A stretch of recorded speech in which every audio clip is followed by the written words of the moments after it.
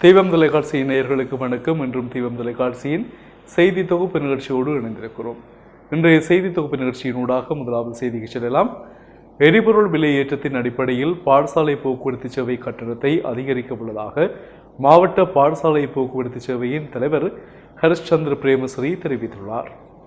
இதற்கமைய பிரதான நகரங்களில் எண்பது கிலோமீட்டர் தூரத்திற்கான சேவைக்கு மாதாந்தம் தற்போது அறவிடப்படும் தொகைக்கு மேலதிகமாக ஆயிரம் ரூபாய் அறவிடப்படும். கிராமப்புறங்களில் பத்து கிலோமீட்டர் தூரத்திற்கு இருநூறு முதல் முன்னூறு ரூபாய் வரையில் அதிகரிக்கப்படவுள்ளதாக அவர் குறிப்பிட்டுள்ளார். இதேவேளை அரசாங்கம் போக்குவரத்து கட்டணங்களை அதிகரித்தால் பெற்றோரின் வாழ்க்கை சுமை மேலும் அதிகரிக்கும் என இலங்கை ஆசிரியர் சங்கத்தின் பொதுச் செயலாளர் ஜோசப் ஸ்டாலின் தெரிவித்துள்ளார். தற்போது பாடசாலைகளுக்கு வழமையாக மாணவர்கள் அழைக்கப்பட்டுள்ள சூழலில் மாணவர்களது போக்குவரத்து தொடர்பில் அரசாங்கம் அதிக அவதானம் செலுத்த வேண்டும் என அவர் தெரிவித்துள்ளார். அண்மையில் உயிரிழந்த யாழ்ப்பாணத்தைச் சேர்ந்த மாணவர் ஒருவர் தரம் ஐந்திற்கான புலமை பரிசில் பரீட்சையில் சித்தியடைந்துள்ளார். மேசாலை வீரசிங்கம் ஆரம்ப பாடசாலையில் தரம் ஐந்தில் கல்வி பயின்ற வ. அஜய் என்ற மாணவன் டெங்கு நோய் காரணமாக அண்மையில் உயிரிழந்தார். இந்நிலையில் கடந்த ஆண்டுக்கான ஐந்தாம் ஆண்டு புலமை பரிசில் பரீட்சைக்கான பெறுபர்கள் நேற்று வெளியாகினது. இதில் குறைந்த மாணவன் நூற்றி ஐம்பத்தி ஐந்து புள்ளிகளை பெற்று சித்தி அடைந்துள்ளமை குறிப்பிடத்தக்கது. கடற்கரைகளில் ஒதுங்கும் மருத்துவ கழிவுகளை அகற்றுவதற்குரிய நடவடிக்கைகளை முன்னெடுக்குமாறு தமிழ் தேசிய கூட்டமைப்பின் நாடாளுமன்ற உறுப்பினர் இரா. சாணக்கியன் ஆலோசனை வழங்கியுள்ளார். கடந்த வெள்ளிக்கிழமை இடம்பெற்ற கோப் குழு கூட்டத்தின் போதே அவர் இவ்வாறு ஆலோசனை வழங்கியுள்ளார். அத்துடன் சட்டவிரோத மீன்பிடி நடவடிக்கையான டைனமேட் மீன்பிடி முறைமை காரணமாக கடல் வளம் பாதிக்கப்படுகின்றது. எனவே இந்த விடயம் தொடர்பில் நடவடிக்கை எடுக்கப்பட வேண்டும். கடற்கரைகளில் ஒதுங்கும் மருத்துவ கழிவுகள் உள்ளடங்கலாக கழிவுகளை அகற்றுவதற்குரிய நடவடிக்கைகளை அரசாங்கம் முன்னெடுக்க வேண்டும். இதற்கான உபகரணம் தற்போது காத்தான்குடி நகரசபையில் மாத்திரமே காணப்படுகின்றது. எனவே இதனை வடக்கு கிழக்கில் உள்ள பிரதேச சபைகளுக்கு வழங்குவதற்குரிய நடவடிக்கைகளை முன்னெடுக்க வேண்டும். மேலும் இல்மனைட் அகழ்விற்கான அனுமதியினை கடல்சார் திணைக்களங்களிடம் பெற்றுக்கொள்வது அவசியம் எனவும் அவர் ஆலோசனை வழங்கியுள்ளார். வடமாகாண மீனவர்களுக்கு உதவுவதற்காக இந்திய முதலீடுகளை இங்கு கொண்டு வருவதற்கான முயற்சிகளை மேற்கொண்டுள்ளதாக இலங்கைக்கான இந்திய தூதுவர் கோபால் பாக்லே தெரிவித்தார். வடமாகாண மீனவர்களுக்கான வாழ்வாதார உதவி திட்டத்தை ஆரம்பித்து உரையாற்றும் போதே அவர் இதனை தெரிவித்துள்ளார். அவர் மேலும் உரையாற்றுகையில் இலங்கையில் மீனவர்களுக்கு உதவிகளை செய்யும் முகமாக இந்திய முதலீடுகளையும் இங்கு கொண்டு வருவதற்கு நாங்கள் எண்ணியுள்ளோம். இதன் மூலமாக மீனவ குடும்பங்களின் வாழ்வாதாரம் மற்றும் தொழில் வாய்ப்பை பெற்றுக்கொள்ள முடியும். இதற்கு அனைவரது ஒத்துழைப்பு தேவை. குறிப்பாக கடல் தொழில் அமைச்சு மாவட்ட செயலக ஒத்துழைப்பு தேவை. இந்த உதவிகள் வடக்கு மீனவர்களுக்கு மட்டுமல்லாது ஏனைய மாவட்டங்களுக்கும் விரிவுபடுத்த உள்ளோம் மேலும் இந்திய அரசாங்கத்தினால் கட்டி முடிக்கப்பட்டுள்ள கலாச்சார மண்டபம் விரைவில் திறந்து வைக்கப்பட உள்ளது. குறைந்த கலாச்சார மண்டபத்தில் இரு நாடுகளும் இணைந்து எவ்வாறு மேலாண்மை செய்வது என்பதில் தொடர்பில் நாங்கள் திட்டமிட்டுள்ளோம். இந்த கலாச்சார மண்டபம் யாழ்ப்பாண மக்களுக்குரியது.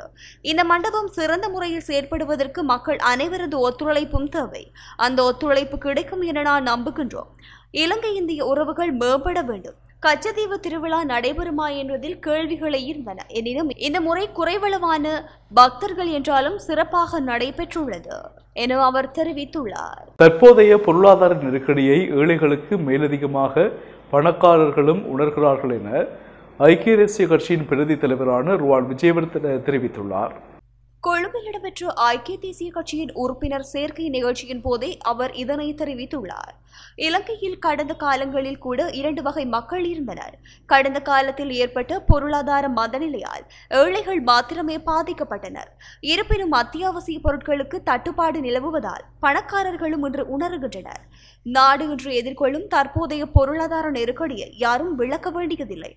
பிள்ளைகளுக்கு உணவளிக்க முடியாமல் தந்தைகள் தற்கொலை செய்து கொள்ளும் காலம் வந்துவிட்டது. இலங்கை வரலாற்றில் இல்லாத அளவுக்கு எரிபொருட்களின் விலை உயர்ந்துள்ளது. ஆரம்பத்தில் அவற்றின் விலைகளை அதிகரித்தது மற்றும் சில நாட்களுக்கு பின்னர் அதை தொடர்ந்தது. கடந்த ஆட்சியில் எரிபொருட்களின் விலை ஐந்து ரூபாவால் அதிகரிக்கப்பட்ட போது சில அரசியல்வாதிகள் மாட்டு வண்டியில் செல்ல ஆரம்பித்து சைக்கிளில் பாராளுமன்றம் வந்தனர். எனினும் பாராளுமன்றத்திற்குள் சைக்கிளில் வந்தவர்களே விலையை எழுபத்தி ஐந்து ரூபாவினால் அதிகரித்துள்ளனர். எரிபொருள் விலை உயர்வுக்கு ரஷ்யா உக்ரைன் போர்தான் காரணம் என அரசாங்கம் குற்றம் சாட்டுகின்றது தொற்று நோயின் போது எரிபொருள் விலை குறைக்கப்பட்ட போது மக்களுக்கு நன்மைகளை வழங்க அரசாங்கம் தவறவிட்டது. தற்போது ரூபாய் மதிப்பு சரிவு பிரச்சனையாக மாறியுள்ளது. மேலும் வெளிநாடுகளுக்கு அனுப்பப்படும் பணமும் குறைந்துள்ளது. ஹோட்டல்களில் சமைப்பது பிரச்சனையாகிவிட்டதால் எரிவாயு பற்றாக்குறையால் சுற்றுலாத்துறை புதிய சவாலை எதிர்கொள்கின்றது என அவர் தெரிவித்துள்ளார். தமிழ் மக்களின் நியாயமான கோரிக்கைகளை சிங்கள மக்களும் முஸ்லிம் மக்களும் உணரத் தொடங்கிவிட்டார்கள் என தமிழ் தேசிய மக்கள் முன்னணியின் தலைவரும் நாடாளுமன்ற உறுப்பினருமான கஜேந்திரகுமார் பொன்னம்பலம் தெரிவித்துள்ளார். இந்து சமுத்திர பிராந்தியத்தில் சீனாவின் முக்கியமான இடமாக உருவெடுத்துள்ள இலங்கை தற்போது கடுமையான அந்நிய செலாவணி நெருக்கடியில் தத்தளித்து வருகிறது. அந்நிய செலாவணி கையிருப்பு வீழ்ச்சியடைந்துள்ளதால் அத்தியாவசிய இறக்குமதிக்கான கொடுப்பனவுகளை கூட அரசாங்கம் செலுத்த முடியாமல் உள்ளது. கடந்த டிசம்பரில் ஜனாதிபதி கோட்டாபாய ராஜபக்ச தனது நாட்டில் மோசமடைந்து வரும் அந்நிய செலாவணி நெருக்கடியை தீர்க்க வெளிநாட்டு கடன்களுக்கான மறுசீரமைப்புக்கு பீஜிங்கின் உதவியை கோரியிருந்தார். சீன வெளிவிகார அமைச்சர் வாங்ஜியுடனான தனது சந்திப்பில் வெளிநாட்டு கடன்களை திருப்பு செலுத்தும் கால எல்லையை மறுசீரமைக்க ஜனாதிபதி கோட்டாபாய ராஜபக்ச பீஜிங்கின் உதவியை நாடியிருந்தார். இந்த வருடத்தில் ஒன்று தசம் ஐந்து முதல் இரண்டு பில்லியன் டாலர் வரை இலங்கை சீனாவிற்கு கடனை திருப்பிச் செலுத்த வேண்டியுள்ளதாக மதிப்பிடப்பட்டுள்ளது. ஆனால் பீஜிங் இதுவரை இலங்கைக்கான கடன் நிவாரண உதவிக்கு பகிரங்க உறுதிமொழியை வழங்கவில்லை. இலங்கையின் கடன் நிவாரணம் தொடர்பான கோரிக்கை குறித்து சீன வெளிவிகார அமைச்சின் பேச்சாளர் சாகோ லிஜினிடம் நேற்று பீஜிங்கில் நடந்த ஊடகவியலாளர் சந்திப்பில் கேள்வி எழுப்பப்பட்டது. அதற்கு அவர் இலங்கையின் சமூக பொருளாதார வளர்ச்சிக்கு அதன் திறன் அனுமதிக்கும் வகையில் சீனா உதவிகளை வழங்கி வருவதாகவும் தொடர்ந்தும் அதனை செய்யும் என்றும் பதிலளித்துள்ளார். அத்துடன் இலங்கை அரசாங்கம் மக்களின் முயற்சிகள் மற்றும் ஒற்றுமையுடன் விரைவில் தற்காலிக சிரமங்களை கடந்து இன்னும் பெரிய வளர்ச்சியை எட்டுமென்று நம்புவதாகவும் அவர் கூறியுள்ளார். இதுகுறித்து சீனா வெளிப்படையாக எந்த உறுதிமொழியையும் வழங்காமல் மௌனம் காத்து வருகின்றமை குறிப்பிடத்தக்கது.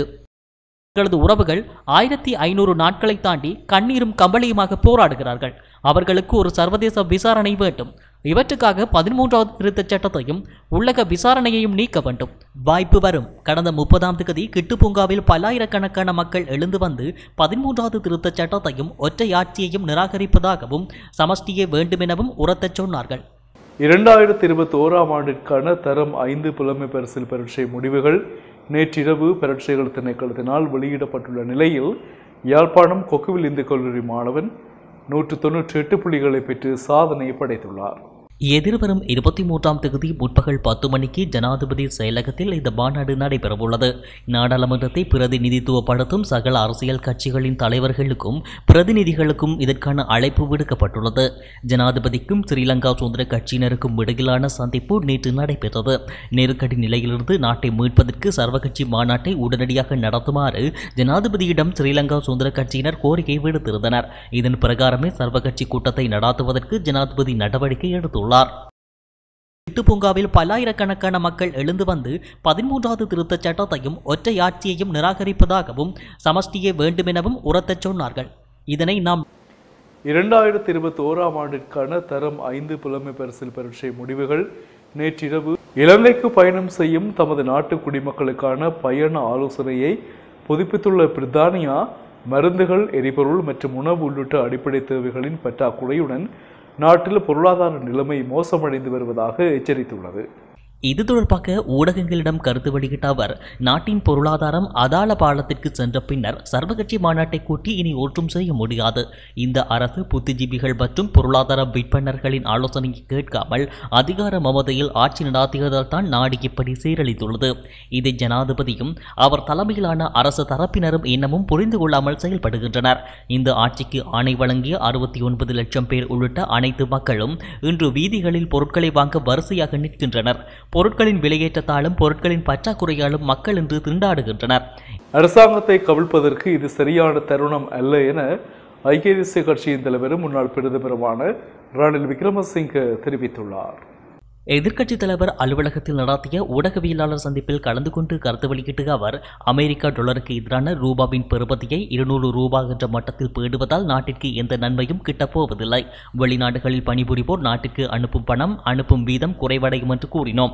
அத்துடன் உள்நாட்டு ஏற்றுமதியாளர்கள் தமது வருமானத்தை வெளிநாட்டு வங்கிகளில் வைப்பிலிட்டு வைத்திருப்பதாகவும் அறிய முடிகிறது.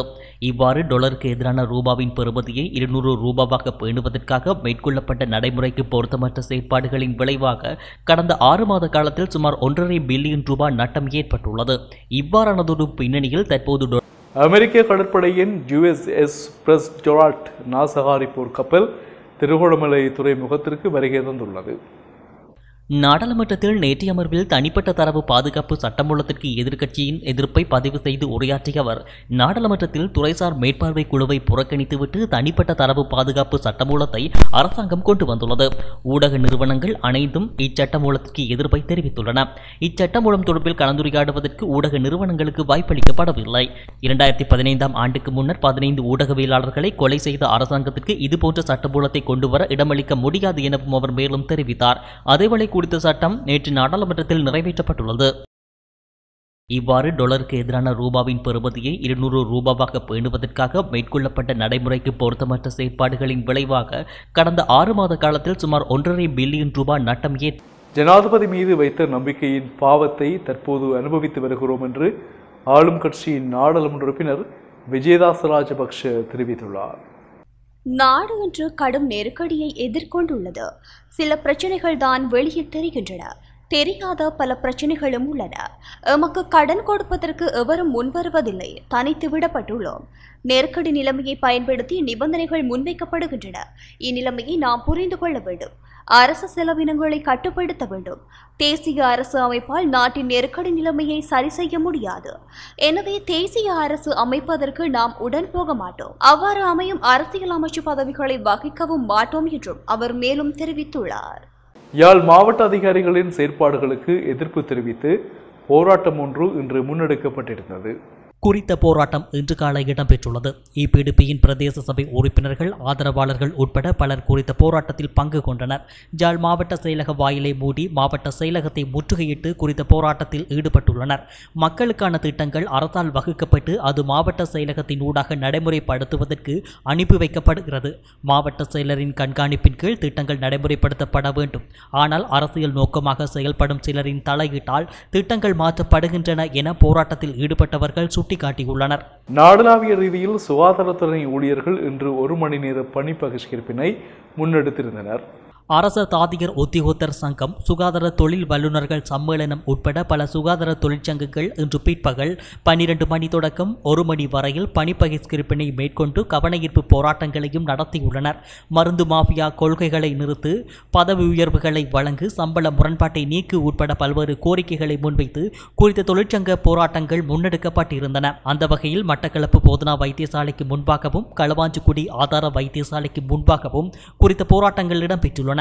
சம்பள முரண்பாடுகளை நிவர்த்தி செய்ய அமைச்சரவை பத்திரத்தை வழங்கு திருத்தி அமைத்த சம்பள முறைமையை தாதிய பட்டதாரிகளுக்கு வழங்கு சம்பள முரண்பாட்டை நீக்கு சுகாதார நிர்வாக சேவைகள் தொழில் வல்லுநர்களை உள்ளடக்கு விசேட கடமை கொடுப்பனவை பத்தாயிரம் ரூபாயாக வழங்கு பதவி உயர்வுகளை தாமதமின்றி வழங்கு உள்ளிட்ட பல்வேறு வாசகங்கள் எழுதப்பட்ட பதாதைகளை தாங்கியவாறு போராட்டத்தில் ஈடுபட்டிருந்தனர். தமிழ் தேசிய கூட்டமைப்பு எந்தவித கலந்துரையாடலிலும் ஈடுபடாமல் ஜனாதிபதியுடன் கலந்துரையாடலில் ஈடுபட உள்ளதாக சமூக விஞ்ஞான ஆய்வு மையத்தின் இணைப்பாளர் சீனா ஆனா ஜோதிலிங்கம் தெரிவித்துள்ளார். தமிழ் தேசிய கூட்டமைப்பினருக்கும் ஜனாதிபதிக்கும் இடையே ஒரு பேச்சுவார்த்தை நடைபெற இருக்கின்றது.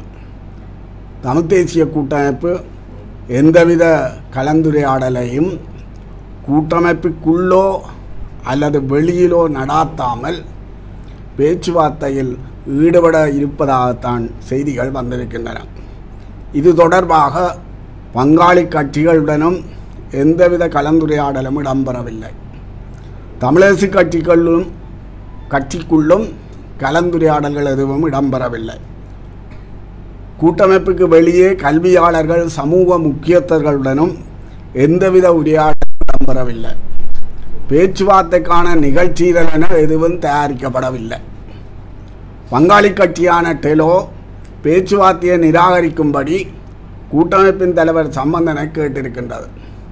அதேவேளை கூட்டமைப்பின் பிரித்தானிய கிளை ஜனாதிபதியின் பொறிக்குள் சிக்க வேண்டாம் என சம்பந்தனுக்கு கடிதம் எழுதியுள்ளது. ஆனாலும் சம்பந்தன் பேச்சுவார்த்தையில் கலந்து கொள்வது என்பதில் உறுதியாக இருக்கின்றார். ஜனாதிபதி அழைத்தவுடன் விழுந்தடித்து கொண்டு செல்வதற்கு இந்த விவகாரம் சம்பந்தனின் குடும்ப விவகாரம் அல்ல என்று நாங்கள் கருதுகின்றோம். இது வரலாற்று ரீதியாக திட்டமிட்ட ஒடுக்குமுறைகளையும் ஏமாற்றங்களையும் சந்தித்து வரும் தமிழ்த் தேசிய இனத்தின் இருப்பு பற்றிய பிரச்சனை. இதில் சம்பந்தன் மற்றும் தீர்மானங்களை எடுத்து செயற்படுவது பொருத்தமானதாக இருக்கும் என நாங்கள் நினைக்கவில்லை. சவுதி அரேபிய வெளிவிவகார அமைச்சர் ஒரு நாள் உத்தியோகபூர்வ பயணமாக இலங்கை வந்தடைந்துள்ளார். சவுதி அரேபிய வெளிவிகார அமைச்சர் பைசல் பின் பர்ஹான் அல் சவுத் ஒருநாள் உத்தியபூர்வ விஜயமாக இன்று அதிகாலை ஒன்று இருபது படிகளவில் இலங்கை வந்தடைந்துள்ளார். அவருடன் வெளிவிகார அமைச்சின் உயர் அதிகாரிகள் பதினெட்டு பேர் இலங்கை வந்தடைந்துள்ளனர். இதேவேளை சர்வதேச நாணய நிதியத்தின் உயர் அதிகாரி ஒருவர் இன்று இலங்கை வரவுள்ளதாக வெளிநாட்டு ஊடகங்கள் செய்தி வெளியிட்டுள்ளன. நாளை அவர் ஜனாதிபதியை சந்திக்க உள்ளதாக தெரிவிக்கப்பட்டுள்ளது. இதன்போது இலங்கை தொடர்பான சர்வதேச நாணய நிதியத்தின் மதிப்பீடு தொடர்பில் ஜனாதிபதி சர்வதேச நாணய நிதியத்திற்கு விளக்கம் அளிப்பார் என சர்வதேச நாணய நிதியத்தின் இலங்கைக்கான செயற்பாட்டு அலுவலகத்தின் தலைவர் மசாஹிரோ நெசாஹி தெரிவித்துள்ளார். இலங்கையின் பொருளாதார நெருக்கடிக்கு ஆதரவை பெறுவதற்காக சர்வதேச நாணய நிதியத்துடன் அடுத்த மாதம் உத்தியபூர்வ பேச்சுவார்த்தைகள் நடைபெறவுள்ள பின்னணியில் சர்வதேச நாணய நிதியத்தின் சிரேஷ்ட அதிகாரி ஒருவர் இன்று இலங்கை வருகிறார். கிளிநொச்சி இரணைதீவு கடற்பரப்பில் கைது செய்யப்பட்ட எட்டு இந்திய மீனவர்களுக்கும் ஒரு வருடகால சிறை தண்டனை விதிக்கப்பட்டு பிணையில் செல்ல கிளிநொச்சி மாவட்ட நீதிவான் நீதிமன்றம் கட்டளையிட்டுள்ளது கிளிநொச்சி இணைதீவு கடற்பரப்பில் கடந்த இருபத்தி ஏழாம் தேதி எல்லை தாண்டிய நிலையில் மீன்பிடித்துக் கொண்டிருந்த எட்டு இந்திய மீனவர்களை அவர்களின் படகுகளுடன் கைது செய்த கடற்படையினர் கடற்றொழில் நீரியல் வள திணைக்களத்திடம் ஒப்படைக்கப்பட்டதை அடுத்து குறித்த இந்திய மீனவர்களும் கிளிநொச்சி மாவட்ட நீதவான் நீதிமன்ற பதில் நீதவான் எஸ். பாலசுப்ரமணியன் முன்னிலையில் ஆயர்படுத்தப்பட்டதை அடுத்து கடந்த பதினோராம் தேதி வரை விளக்கமறியலில் வைக்கப்பட்டனர். அன்றைய தினமே குறித்த வழக்கு விசாரணைக்கு எடுத்துக் கொள்ளப்பட்ட போது இன்று வரை அவர்களை விளக்கமறியலில் வைக்குமாறும் குறித்த மீனவர்களுக்கு எதிராக குற்றச்சாட்டு பத்திரத்தை விண்ணப்பத்தை தாக்கல் செய்யுமாறும் நீதிமன்று கட்டளையிட்டது. அதற்கமைவாக இன்றைய தினம் எட்டு இந்திய மீனவர்களும் கிளிநொச்சி மாவட்ட நீதவான் நீதிமன்றில் நீதிமன்ற நீதவான் எஸ். லெனின்குமார் முன்னிலையில் ஆஜர்படுத்தப்பட்டதுடன் குற்றச்சாட்டு பத்திரங்களும் தாக்கல் செய்யப்பட்டதையடுத்து குறித்த குற்றச்சாட்டுடன் தொடர்புபட்ட இந்திய மீனவர்கள் எட்டு பேருக்கும் தலா ஏழு வருடங்களுக்கு ஒத்திவைக்கப்பட்ட ஒரு வருட கால சிறை தண்டனை விதிக்கப்பட்டதுடன் பிணையில் செல்ல நீதிமன்றம் கட்டளையிட்டுள்ளது. நாட்டில் நிலவும் டொலர் நெருக்கடியின் காரணமாக அச்சுத்துறை பெரும் நெருக்கடிகளை எதிர்கொண்டுள்ளதாக அரச அர்ச்சகர்கள் சங்கம் தெரிவித்துள்ளது. குறித்த தகவலை அச்சங்கத்தின் ஆலோசகர் எம் டி ஆர் அதுலா தெரிவித்துள்ளார். இன்று இடம்பெற்ற ஊடகவியலாளர்கள் சந்திப்பிலேயே அவர் இந்த விடயத்தை தெரிவித்துள்ளார். குறித்த விடயம் தொடர்பாக அவர் மேலும் தெரிவிக்கையில் தற்போது நிலவும் கடதாசி தட்டுப்பாடு காரணமாக எதிர்வரும் நாட்களில் அச்சகங்களில் அச்சு நடவடிக்கைகள் பாதிக்கப்படக்கூடும்.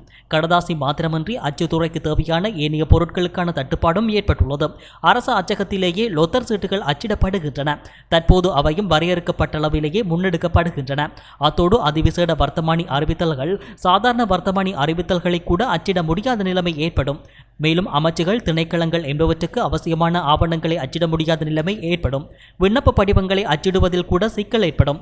பாடசாலை மாணவர்களுக்கான பாடநூல்களை அச்சிடுவதற்கு தேவையான கடதாசி இல்லை. ஏற்கனவே இருப்பில் காணப்பட்ட கடதாசிகள் நிறைவடைந்துள்ளன. எதிர்காலத்தில் எவ்வாறு பாடநூல்களை அச்சிடுவது? இதனால் மாணவர்களின் கல்வி நடவடிக்கைகள் முற்றாக பாதிக்கப்படும். அரசு அச்சக ஊழியர்களுக்கு மேலதிக வேலை நேர கொடுப்பனவை பெற்றுக்கொள்ள முடியாத நிலைமை ஏற்படும் என தெரிவித்துள்ளார். இன்று முதல் நாடளாவிய ரீதியில் உள்ள அனைத்து பாடசாலைகளிலும் மாணவர்கள் வளமை போன்று பாடசாலைக்கு அழைக்கப்பட்டுள்ளனர்.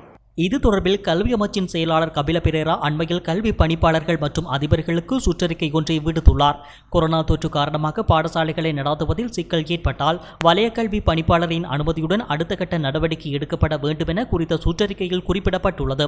எவ்வாறாயினும் கொரோனா தொற்று இன்னும் மறையவில்லை என்பதால் சுகாதார வழிகாட்டுதல்களை பின்பற்றுவதில் மாணவர்கள் கவனம் செலுத்த வேண்டும் என்று குழந்தை நல மருத்துவர் வைத்தியர் தீபால் பெரேரா தெரிவித்துள்ளார். இதேவேளை மாணவர்களுக்கான போக்குவரத்து சேவைகளை வழமை போன்று வழங்குவதற்கான நடவடிக்கை நடவடிக்கைகள் எடுக்கப்பட்டுள்ளதாக இலங்கை போக்குவரத்து சபை தெரிவித்துள்ளது. இத்துடன் தீபம் தொலைக்காட்சியின் செய்தி தொகுப்பு நிகழ்ச்சி நிறைவுக்கு வருகிறது. தொடர்ந்தும் தொலைக்காட்சியோடு இணைந்திருங்கள். வணக்கம்.